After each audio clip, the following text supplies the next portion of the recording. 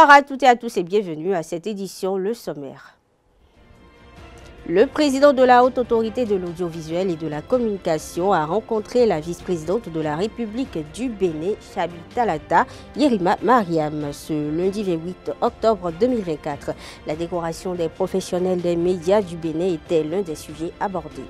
Le président du Parlement béninois est désormais le vice-président de la conférence des présidents des parlements africains COSPAL. Louis Lavonnois a été élu lors de la deuxième assemblée générale de la dite conférence. Le PDG du groupe ESAE Adéchian Clément a procédé au lancement officiel de la rentrée scolaire universitaire à l'ESAE Paracou hier lundi, assure dans cette édition son allocution.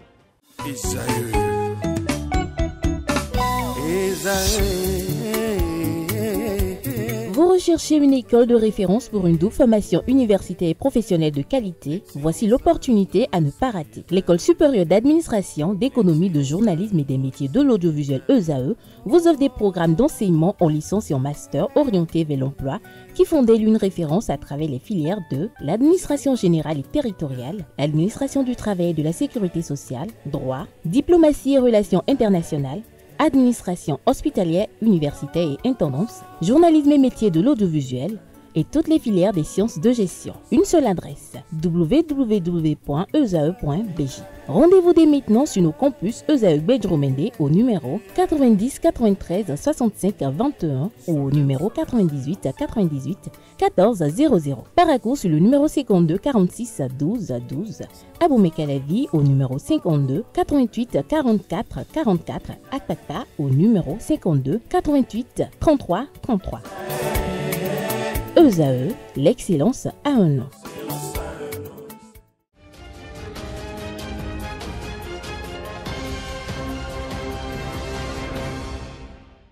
Bienvenue pour la dernière étape de sa tournée de visite de courtoisie auprès des présidents d'institutions de la République.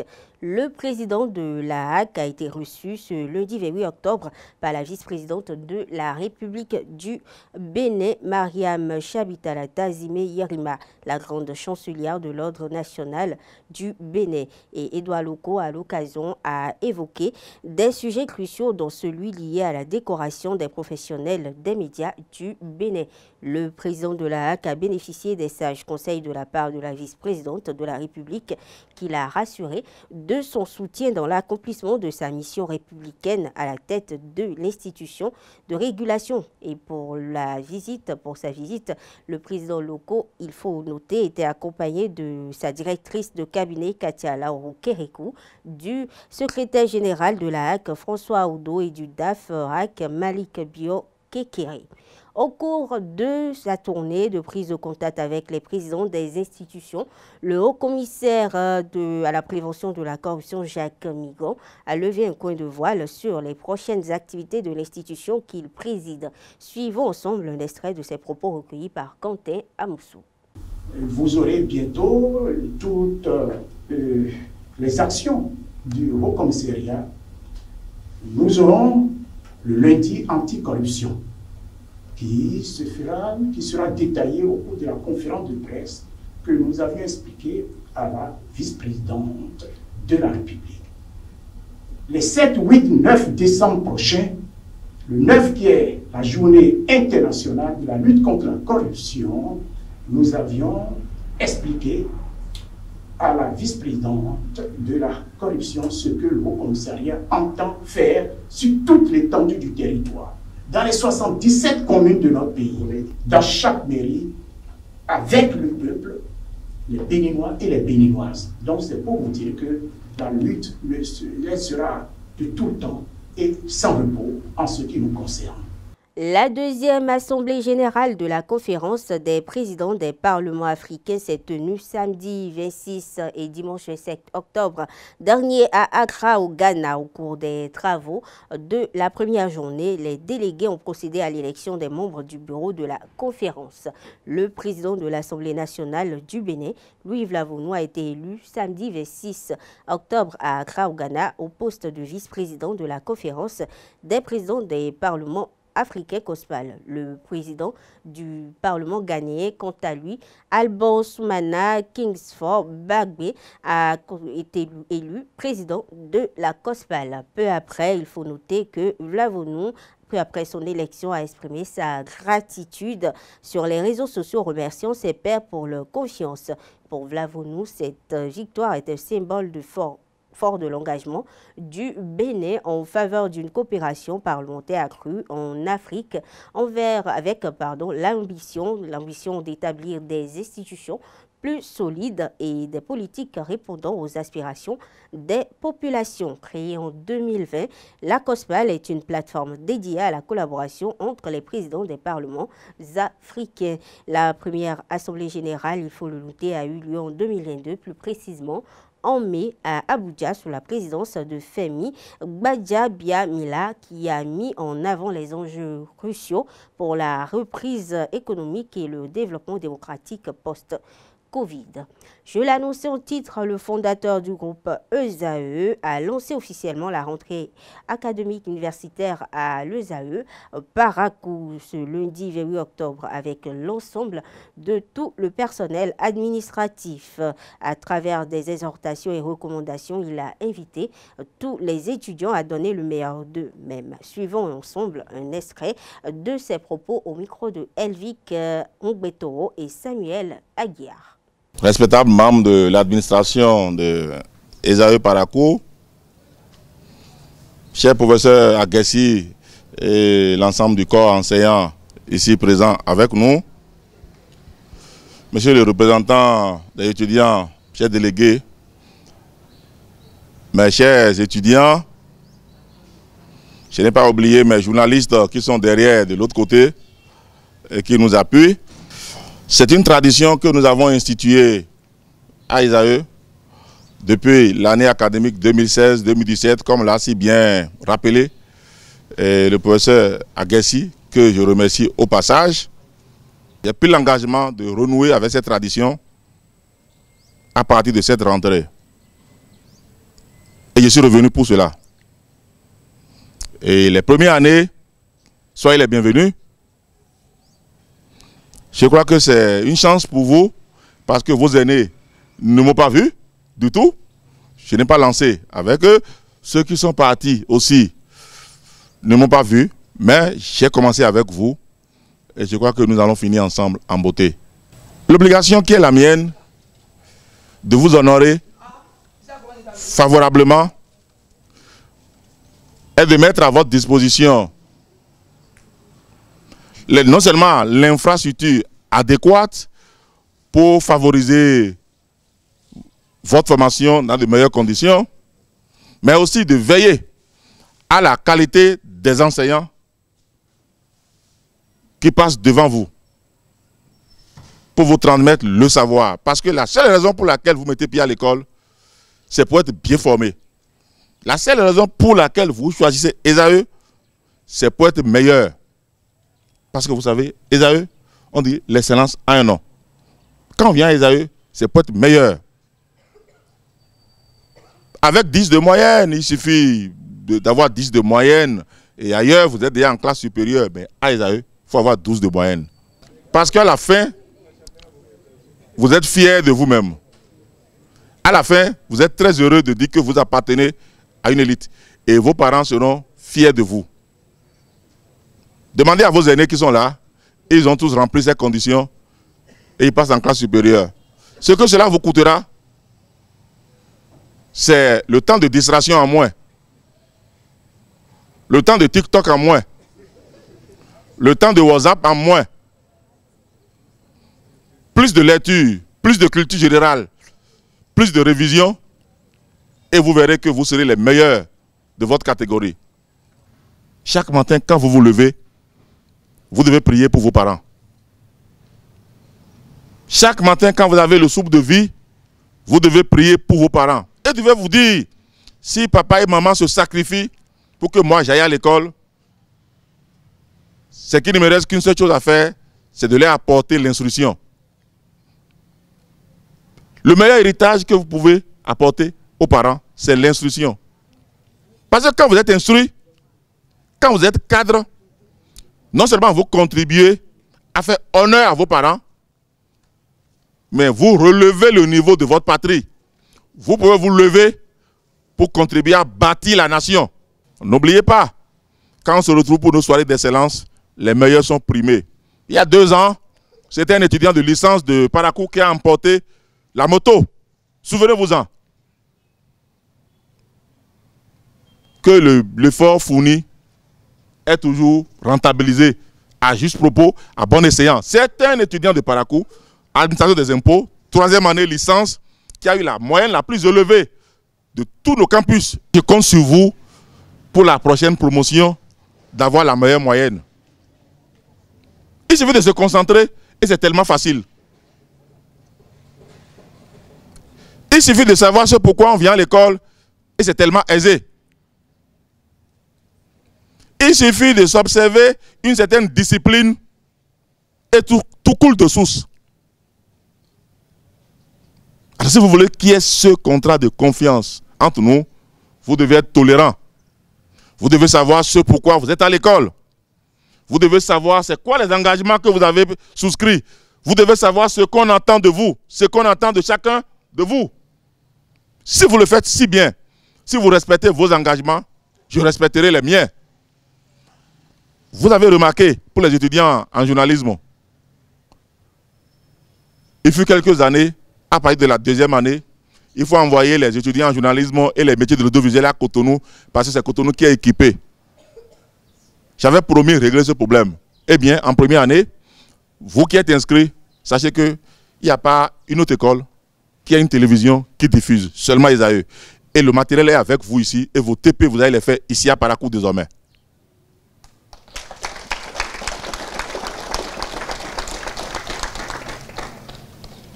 Pour ceux qui hésitent encore à faire du journalisme, leur métier, leur passion, alors dites-le leur que nous avons désormais à Parakou l'antenne de Esaïe Télévision, Esaïe Radio, la presse écrite, l'informateur, et qu'on peut se faire former et devenir professionnel des métiers de l'audiovisuel et du journalisme en s'inscrivant à Esaïe Parakou.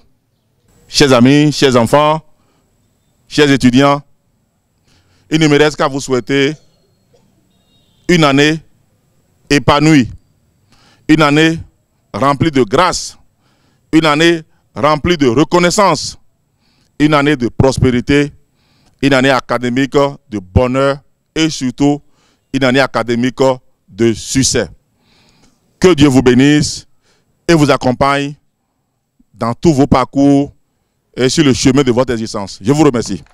À la faveur d'une cérémonie, le garde des Sceaux, le ministre de la Justice et de la Législation du Bénin, Yvon Détinou, et le représentant résident du PNUD au Bénin, Titus Osundina, ont procédé le 25 octobre dernier à la signature du document du projet d'appui au renforcement de l'accès à la justice par âge. Cette cérémonie a été doublée de remise de matériaux roulants acquis euh, pour, le projet d'appui à la promotion et à la protection des droits de l'homme dans les établissements pénitentiaires et au renforcement de l'état de droit PAEP. C'était en présence de l'ambassadeur des États-Unis d'Amérique près le Bénin, Brian Choukan, et selon le représentant résident du PNUD de M. Choudina, ce projet vise à améliorer la qualité euh, des acteurs judiciaires au Bénin, à fournir une justice transparente, crédible et équitable,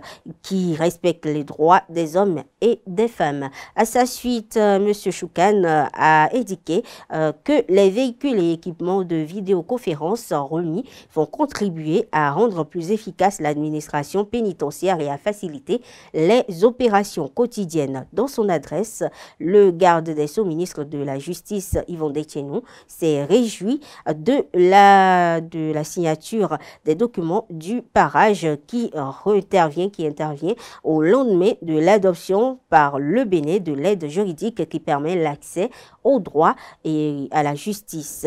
Yvon Détienois a également exprimé sa profonde gratitude aux autorités du TNUD et à celles de l'ambassade euh, des États-Unis au Bénin pour leur accompagnement sans faille dans la mise en œuvre des différents projets pour une justice de qualité au Bénin.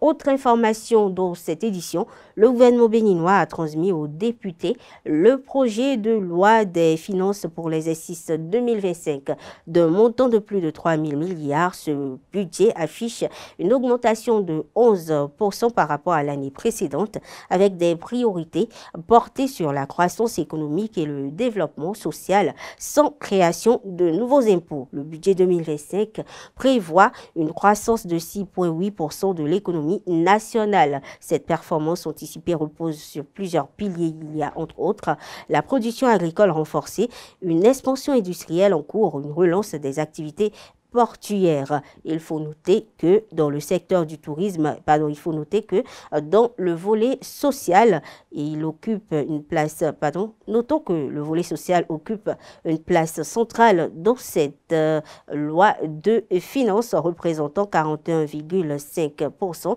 du budget global. À compter du 30 novembre 2024, le Bénin fera la transition de son plan national de numérotation de 8 à 10 chiffres. Cette évolution implique l'ajout du préfixe 01 à tous les numéros de téléphone des abonnés des réseaux de téléphonie mobile. Au micro de Nassirine Fatoumbi et de Francis Fahmi, Robert Akrombessi, président de l'association La Voix des consommateurs, estime que ce n'est pas une surprise, cette migration de 8 à 10 chiffres au Bénin. On l'écoute. En suivant l'information euh, donnée par le secrétaire exécutif de l'ARCEP Bénin, qui a annoncé la migration des numéros de téléphone vers un plan de numérotation à 10 chiffres. Nous passons donc de, 8 chiffres euh, vers une dizaine de chiffres. Et il est important de rappeler que ce n'est pas une surprise pour nous parce que l'ARCEP Bénin euh, nous avait informé en tant qu'organisation de consommateurs. Euh, nous avions déjà commencé par prendre des dispositions de concert avec l'ARCEP Bénin pour mieux informer les consommateurs, euh, outiller les consommateurs pour qu'ils sachent quelles sont les dispositions qu'ils doivent prendre. Il n'y a rien d'extraordinaire. Euh, nous l'avions déjà connu en 2005, euh, lorsqu'on devait passer de 6 chiffres à 8 chiffres. Euh, aujourd'hui, c'est pratiquement le même scénario qui se répète.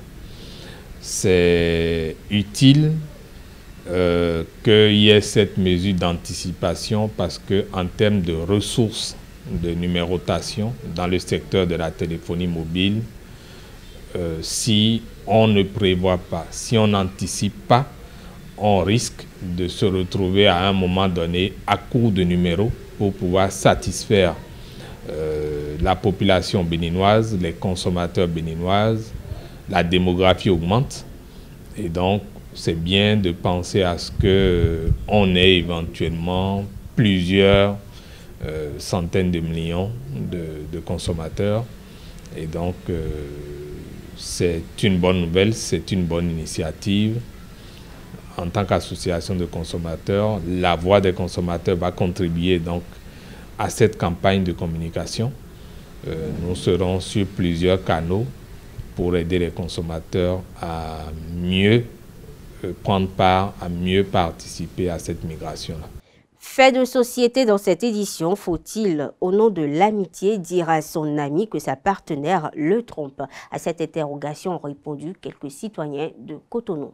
Suivons ensemble il vaut mieux le provenir dans de, en tout cas, qui n'a qu'à savoir comment aller vivre avec sa femme quand même.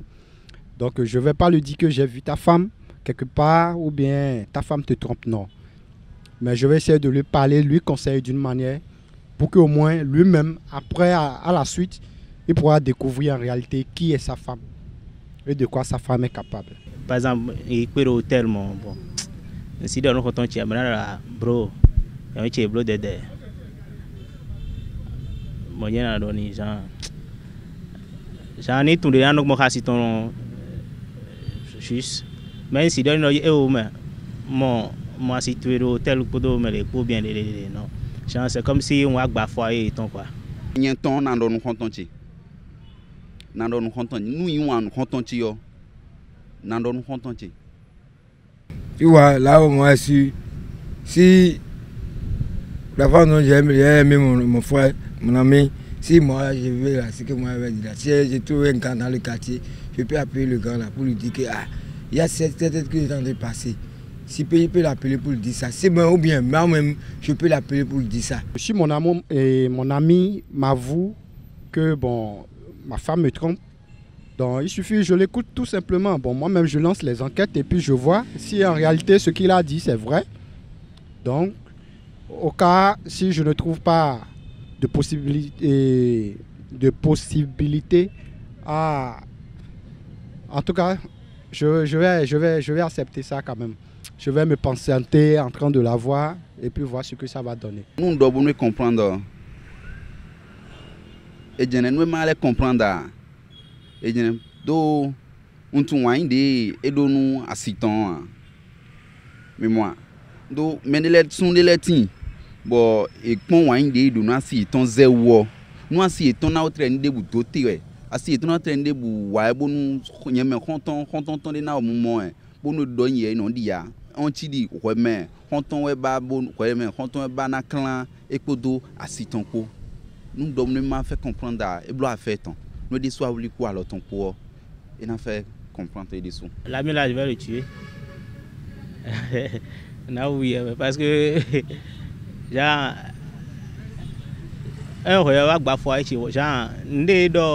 c'est très grave parce que peut-être que eyin do adigban do ere ni on tun ou bien peut-être que es wɛrɛ wɛrɛ do nɔblo ha badam cɛ ni to bon e wa dɔ hone mi on a sɔrɔ mi La page internationale de ce mardi 29 octobre est une compilation signée Jesugo Gbeno. Le président français Emmanuel Macron a été accueilli lundi 28 octobre en grande pompe au Maroc par le roi Mohamed VI pour une visite d'État visant à sceller leur réconciliation après trois ans de brouille. Jusqu'à mercredi, Emmanuel Macron va enchaîner les séquences.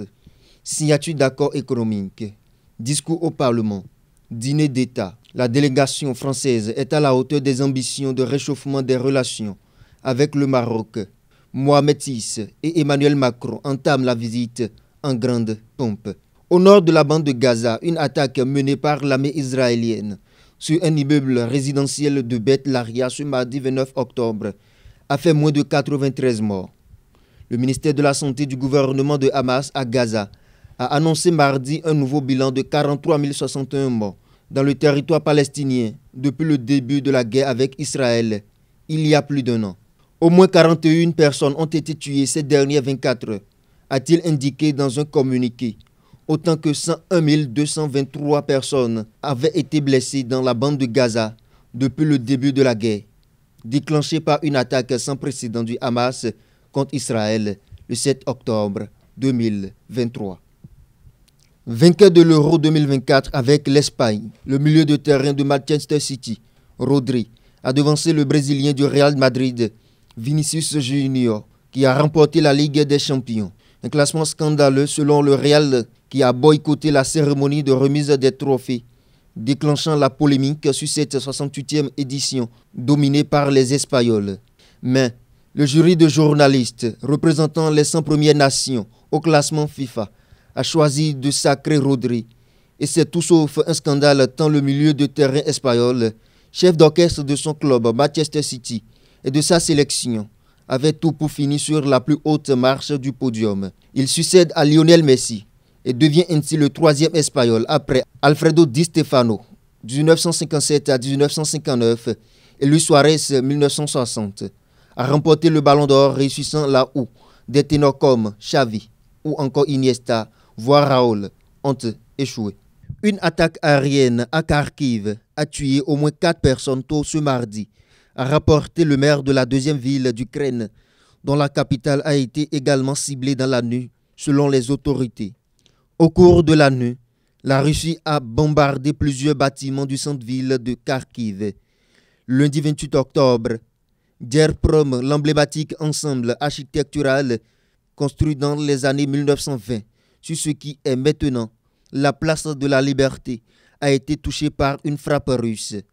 Le ministère des Affaires étrangères a déploré que le monde n'ait pas protégé ce bâtiment, reconnu comme faisant partie des sites ukrainiens en danger par l'UNESCO. La Chine a présenté lundi 28 octobre des mesures visant à augmenter le nombre de naissances après deux années consécutives de baisse de la population et un taux de natalité qui a atteint son plus bas en 2023.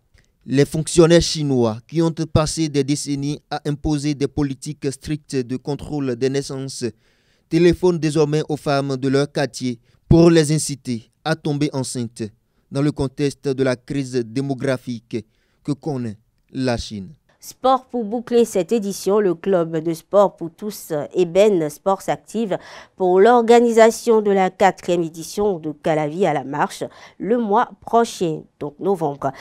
Détails, les détails sur l'événement de cet élément et sont signés Larius Adiabino. Entretenir son organisme à travers la pratique d'une activité sportive. Calavi à la marche CAM revient bientôt avec la quatrième édition. Et Ben Sport, un club de sport pour tous, initiateur de l'événement, s'y attelle. Calavi à la marche 2024 va se dérouler le samedi 30 novembre 2024.